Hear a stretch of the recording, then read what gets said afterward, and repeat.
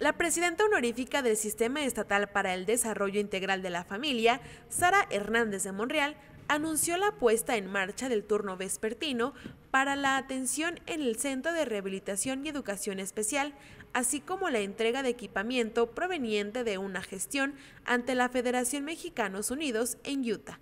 en compañía del presidente municipal de Guadalupe, José Saldívar Alcalde, informó a los usuarios del centro de rehabilitación la apertura del horario vespertino, el cual consiste en una atención continua de 8 de la mañana a 6 de la tarde, en donde se brindarán atenciones de terapia de lenguaje y terapia física, como retardo de lenguaje, autismo, pacientes con secuela de EBC, lectoescritura, problemas auditivos, rehabilitación de rodilla, parálisis facial, parálisis cerebral, lesión medular y problemas de columna. La presidenta honorífica del CEDIF, Sara Hernández de Monreal, resaltó que continúa trabajando arduamente para lograr reabrir las puertas del tanque terapéutico. Dijo que realizará las gestiones necesarias para que este espacio vuelva a tener su uso. Asimismo, celebró que las y los usuarios ya podrán asistir en un horario extendido, el cual cumple un sueño, puesto que desde la llegada de la administración encabezada por el gobernador David Monreal Ávila, se detectó esta necesidad y ahora la atención será de tiempo completo.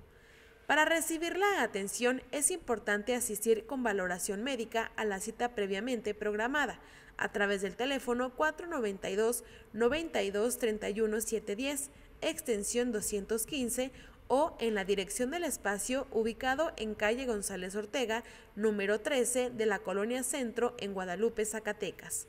El presidente municipal de Guadalupe, José Saldívar Alcalde, coincidió en que es indispensable la implementación de políticas públicas encaminadas al bienestar social, que derive en la consolidación de una ciudad familiarmente sostenible.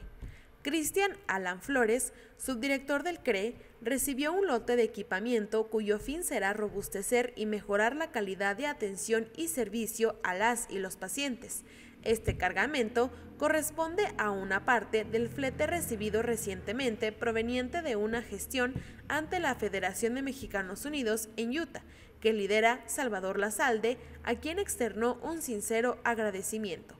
Dicho lote se conforma por tres armeses elevadores para pacientes, dos mesas de acero inoxidable, 61 estetoscopios, 13 piezas de laringoscopía, 100 termómetros digitales, 225 piezas de férula plana, 40 soportes de espalda, 160 piezas de toalla de quirófano, 100 batas quirúrgicas, 1000 mascarillas de procedimiento, 400 fundas protectoras, 2.000 guantes de examen vinilo, 22.000 jeringas, 2.700 mascarillas respiratorias, entre otros por destacar. En el evento, amenizado por la Orquesta Sinfónica de Guadalupe, estuvieron presentes Álvaro García Hernández y Ana Berta Luna Quintero, procurador de protección a niñas, niños y adolescentes del CEDIF y coordinadora administrativa del mismo, respectivamente.